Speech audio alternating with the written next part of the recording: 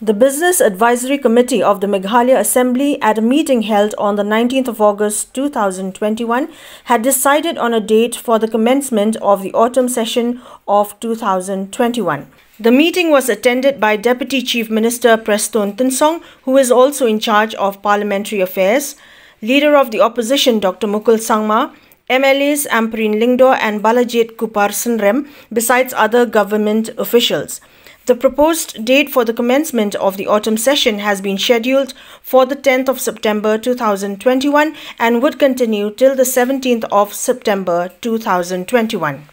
Business Advisory Committee of the Assembly um, sat and uh, represented by the Parliamentary Affairs uh, Deputy Chief Minister uh, in charge uh, of uh, Prestone Tynsong and uh, leader of the opposition, Dr. Mukul Sangma, uh, MLAs Kong Ampareen Lyngdoh and ba Balajied Kupasundran, and other officials uh, have proposed the calendar for the autumn session 2021, which will commence on the 10th of September 2021 up to 17th September 2021.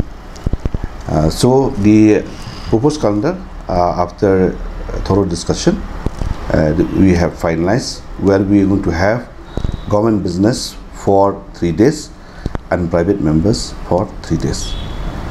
So all members have agreed and uh, we are uh, starting the uh, autumn session this year from 10th September 2021.